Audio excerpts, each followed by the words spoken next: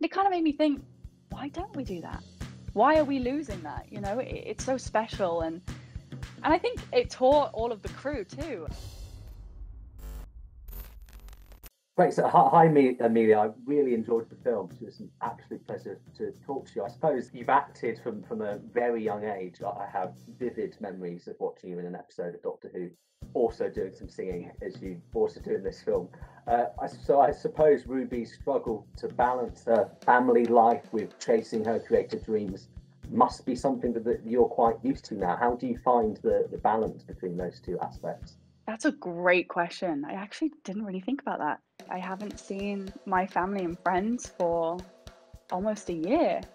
Um, luckily, my, my mum's here right now, so I, am with my mum, but you're in this adult world and you, you have to kind of be mature, but also you are still quite young and you do you do want your family and, and I guess I, I related with Ruby a lot. You know, this film is a love letter to family, and the Rossis are such a tight knit family. You know, they do everything together. Ruby interprets for them 24 7 so they really are inseparable and i i feel the same way towards my family i, I love them and i don't like being apart from them at all oh, sometimes i get a good feeling yeah yeah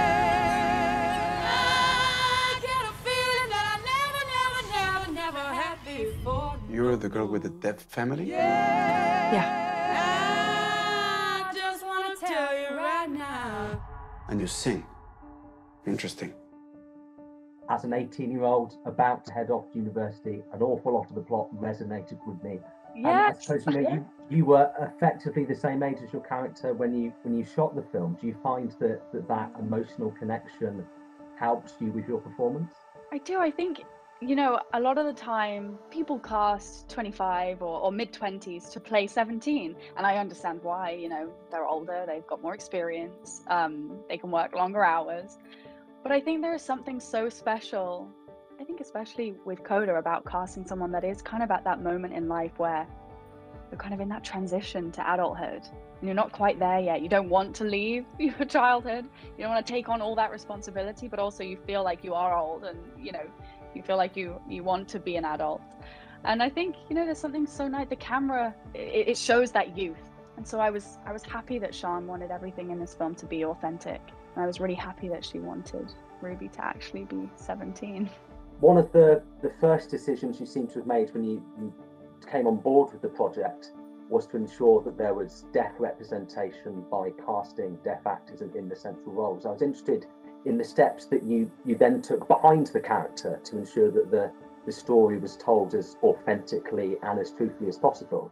I was always committed to casting deaf actors to play the deaf roles. Um, that felt important to me, not just, you know, in terms of the world and it being the right thing to do, but also just creatively. Like the opportunity that lived in that as a director to me was so um, beautiful and exciting. And, um, but I also was an outsider coming into this community and I was very aware of that and felt an enormous responsibility to to take care with the story and with the culture and make sure that I had people around me who were from the community who could speak to the experience, you know, the lived experience. And so not only, you know, was it important to me to have deaf actors in those roles, but to have deaf collaborators behind the camera. And so those those creative allies for me and and empowering those collaborators to kind of check my own hearing perspective as somebody coming in new to this community, it was important to know what I didn't know and then make sure that I had people around me who could help me tell the story in an authentic way that um,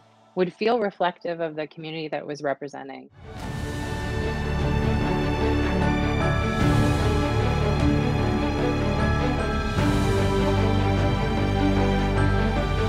I can't stay with you for the rest of my life. Never done anything without my family before.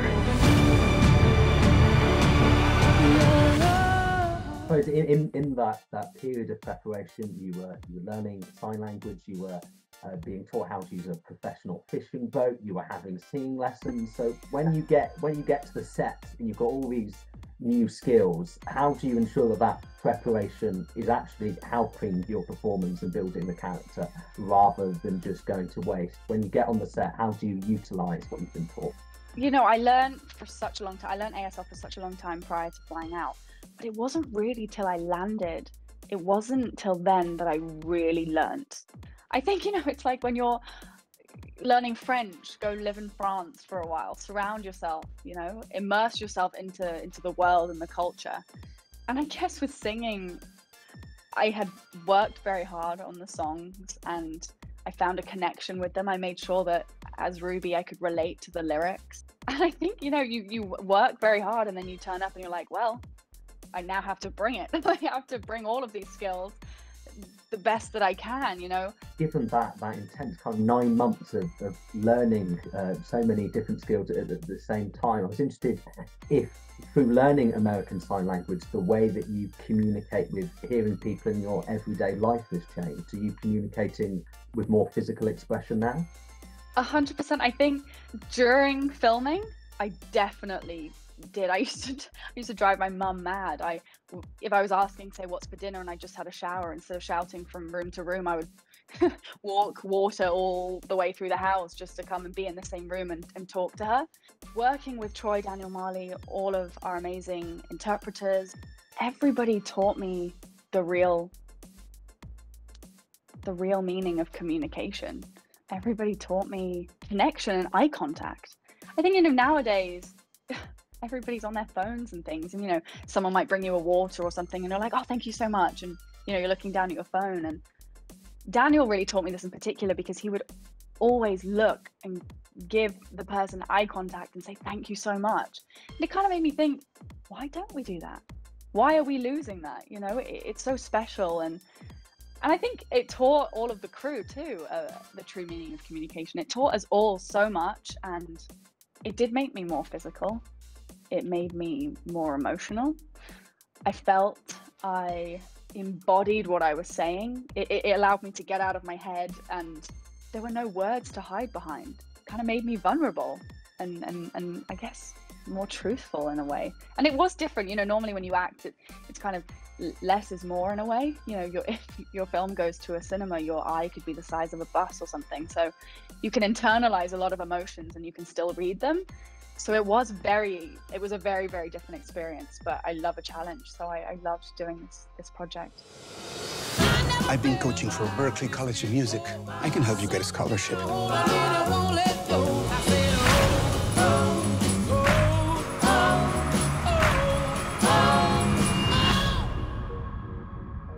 so I suppose as, as a majority of the film is in uh, American Sign Language, uh, did you shoot these scenes differently to how you uh, shot scenes with spoken dialogue?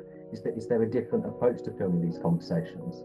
ASL is a very cinematic language. So you're literally watching a visual representation of words and ideas and emotions. Um, so in that way, it's just, you know, you can put your camera on a on a signed scene and, and it's very alive. Um, at the same time, when people are in an ASL conversation, they are planted and looking at each other and engaged. And so a lot of the tools that you have as a director to, you know, blocking or you know have a character walk out of the room as they're talking and throw a line over their shoulder or turn around it's like there isn't the same kind of movement in a scene. You know it really sort of people are looking at each other and they're looking into each other's faces and engaging and it's very human and connected and and you know it meant that there wasn't a lot of camera movement actually that we were really sort of finding ways to be in the intimacy of those scenes and, and capture the language itself and make sure we were always had hands in frame which meant you know your tool as a filmmaker of going into a close-up in an emotional moment um, you know you're like well i'm not going to do that because actually i'm cutting off the language. So what's another way to kind of be with a character and not be in close-up? So i actually love this question because it really did affect you know the cinematic choices of how we were going to move the camera and use the camera within scenes.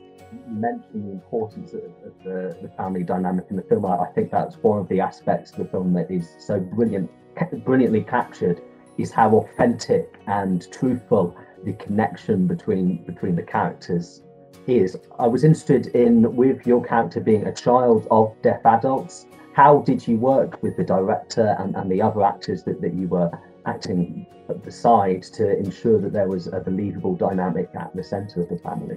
I was very lucky because on our film set, all of our interpreters were CODAs.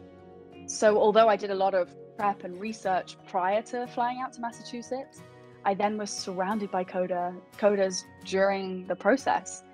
And it was nice for, for Sian and I actually because it meant that sometimes we would do a scene and Sian would call cut and the CODAs would be crying. And that was kind of a moment for us where we thought, okay, we're telling something that is accurate, it's truthful, and people can relate.